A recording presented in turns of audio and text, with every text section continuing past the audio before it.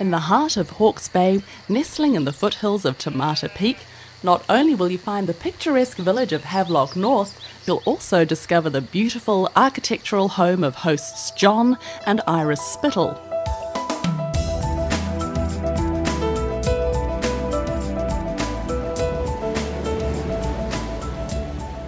The Loft Art Studio and Premium Bed and Breakfast offers charming hospitality and superb bed and breakfast accommodation, the quality of which has been awarded four stars by Qualmark New Zealand Limited, New Zealand Tourism's official quality agency.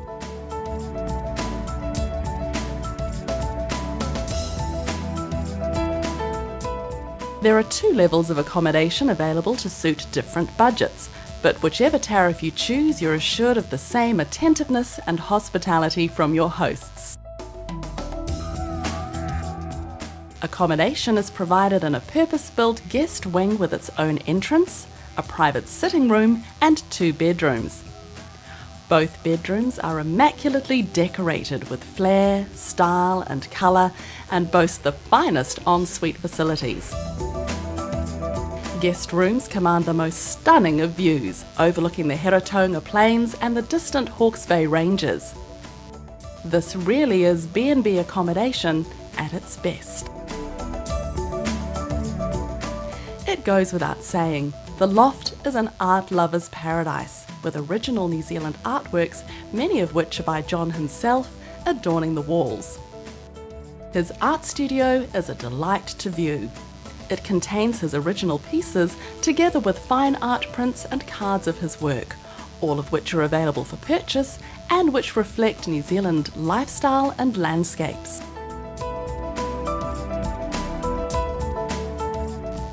Other objets d'art can be found in nearly every nook and cranny.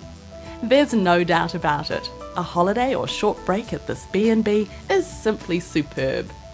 Not only is it relaxing, entertaining, and inspiring, but it's also very, very welcoming.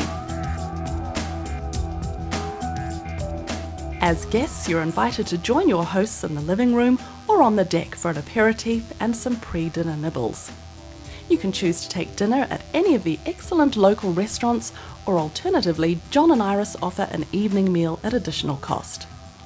They're happy to join you for dinner, unless, of course, you prefer to dine privately in a romantic setting, soaking up the views.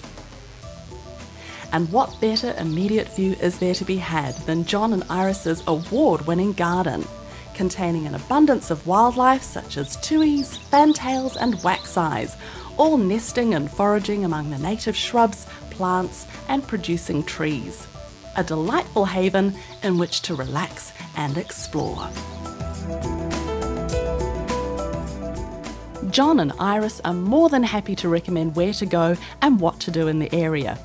Indeed, they positively insist that their guests take the drive up to the summit of nearby Te Mata Peak, from where the views are spectacular and the landscape simply breathtaking. And for the energetic, you can forget the car and take advantage of the bicycles that are available to the guests free of charge. So look no further than the Loft Art Studio and Premium Bed and Breakfast the art of perfect hospitality.